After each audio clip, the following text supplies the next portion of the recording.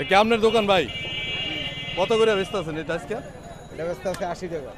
পাইকারি সেল না? পাইকারি। আশি টাকা কেজি? আশি টাকা। আচ্ছা আচ্ছা।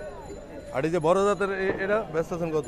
এটা একশো দশ একশো। একশো দশ একশো টাকা কেজি। কেজি। আচ্ছা আচ্ছা। আর এটা? এটার কি বড়ি বলে এটা? আপেল পরে এটা কত করে বেচতে আছেন? সর্বনিম্ন তো আশি। আশি টাকা কেজি? আশি টাকা। আচ্ছা আচ্ছা আচ্ছা। সব ধরনের ফলই আছে না আপনার কাছে?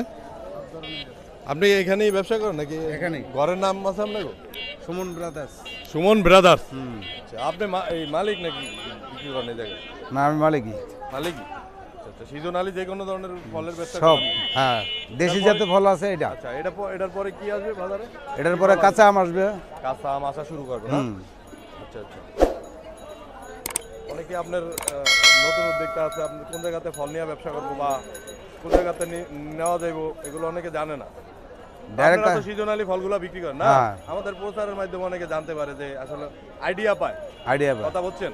এখানে পাইকারি ফল নিয়ে ব্যবসা করতে চায় তাহলে যে কোনো মনে করেন আমার মতো উদ্যোক্তা যারা আছে বা যারা করতে আছে অনেকে আপনার পাইকারি বাজার চিনি কিছু কিছু চিনি কিছু কিছু চিনে না।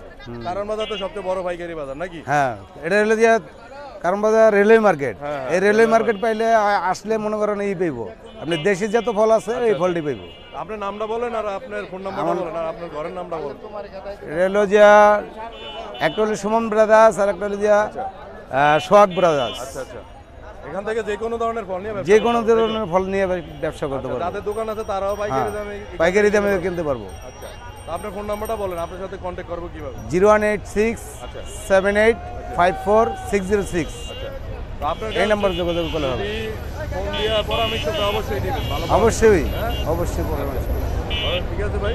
আচ্ছা। কি আবার বলেন তো আমরা মোহাম্মদ শহীদ। সরি যে কোনো ফল আপনার শহীদ শহীদ যাবে। মোহাম্মদ শহীদ।